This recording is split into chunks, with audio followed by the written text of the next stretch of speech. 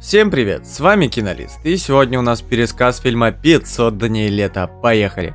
Повествование фильма ведется не параллельно развитию сюжета. С помощью счетчика дней оно то забегает вперед, то возвращается, показывая зрителям Томаса счастливым во время их саммер отношений, то депрессивным после разрыва. Фильм рассказывает историю жизни Тома Хэнсона в течение 500 дней, начиная с 8 января, когда в офис фирмы, производящей поздравительные открытки, где он работает, пришла работать Саммер Финн. Саммер приезжает из штата Мичиган и не сразу замечает Тома, в то время как сам молодой человек сразу понимает, что эта встреча подрешена судьбой. Их первый короткий разговор состоится в лифте, когда оказывается, что Саммер любит ту же музыку, что и Том. За первой встречей следует вторая, за второй еще одна, и вскоре пара начинает встречаться. Однако Саммер не хочет серьезных отношений, так как относится к ним проще и легкомысленнее Тома. Она не верит в любовь, не любит навешивать ярлыки, то есть ей не нравится быть чьей-то девушкой. Том, в свою очередь, понимает, что стремится только к серьезным серьезным отношениям.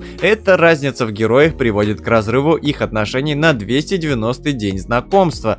Том подавлен, но все же отправляется на свадьбу коллеги, на которой снова встречает Саммер. Она прекрасно проводит время, и она приглашает его на вечеринку на крыше своего дома. Но на той вечеринке Том, надеявшийся восстановить отношения с Саммер, обнаруживает, что его бывшая девушка помолвлена, из-за чего впадает в еще большую депрессию. Его нервы не выдерживают, он увольняется с нелюбимой работы и решает сделать карьеру архитектора. Тем временем Саммер выходит замуж. Последний раз Том и Саммер встречаются на любимом месте Тома, к дому изобретательных искусств, куда он приводил ее, когда они были вместе. Отношения кардинально поменяли взгляды обоих. Теперь Том уверен, что того, во что он верил, не существует, а Саммер поняла, что любовь реальна и вполне возможна. Оба ни о чем не жалеют.